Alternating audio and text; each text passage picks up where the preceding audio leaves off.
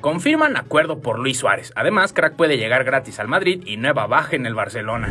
Cambetero, la semana pasada la pelea de Neymar con Álvaro González fue uno de los temas más calientes y es que el brasileño aseguró que fue agredido con insultos racistas y esto lo habrían confirmado especialistas en lectura de labios desde Brasil, aunque la liga francesa aún sigue analizando el caso. Sin embargo, el problema para Ney es que en este mismo análisis salió a la luz que Neymar no se quedó callado y sus palabras le dieron la vuelta al asunto. Y es que este clip asegura que las palabras de Neymar fueron igual de duras contra el español, pues mientras uno fue racista contra su compañero de profesión, Ney fue homofóbico. Este análisis reveló que supuestamente el jugador del PSG lanzó también un fuerte insulto de esta índole y lo llevó a ser trending topic mundial con el hashtag Neymar homófobo. Y ahora se espera que el comité disciplinario analice si Ney recibirá aún más castigo que su par de juegos de suspensión o no.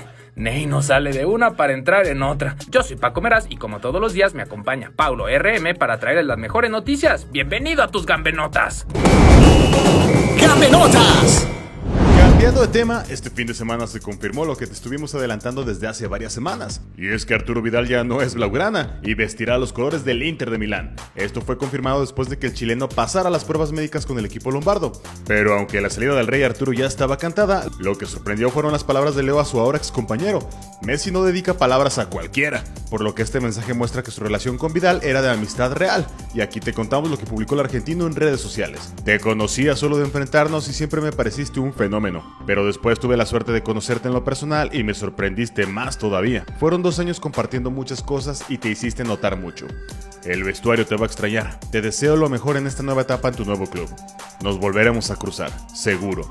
Grandes palabras de Leo, aunque tendría que ir preparando otras palabras de despedida para otro jugador que está cerca de bajarse del barco del Barcelona. Uy, tienes razón, Paulo, pues parece que hay otro jugador que está cerca de decir adiós a los catalanes para irse a la Premier, y es Nelson Semedo, pues de acuerdo al diario Sport, el Barcelona tiene ya un trato para mandar a su jugador al Wolverhampton por una cifra cercana a los 40 millones de euros, y su salida sería un respiro para los blaugranas que necesitan sí o sí ingresar dinero con urgencia. La clave de este traspaso sería Jorge Méndez, representante del jugador, quien además es accionista del Wolverhampton, por lo que la negociación habría sido express y estaríamos a días de que el defensa vista de amarillo y se vuelva lobo. Por otra parte, el equipo que ya tuvo varias salidas recientes es el Real Madrid, por lo que ya sería momento de que comiencen las llegadas, y aunque Florentino ya dijo que no serán grandes inversiones, ¿qué tal es que haría un crack veterano, pero aún con mucho fútbol y que ha demostrado en incontables veces su calidad? Y además de todo, gratis.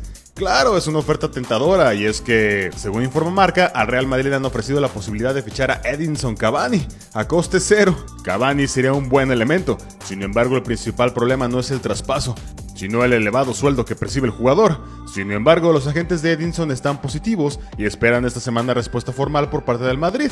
¿Les gustaría ver a Cavani de merengue? Para terminar, déjanos contarte que de acuerdo al diario Sport habría acuerdo total para la salida de Luis Suárez con el Barcelona y es que esta semana el jugador habría cerrado su etapa con el Barça al llegar a un trato de rescisión de contrato en un acuerdo que, según este medio, es prácticamente total.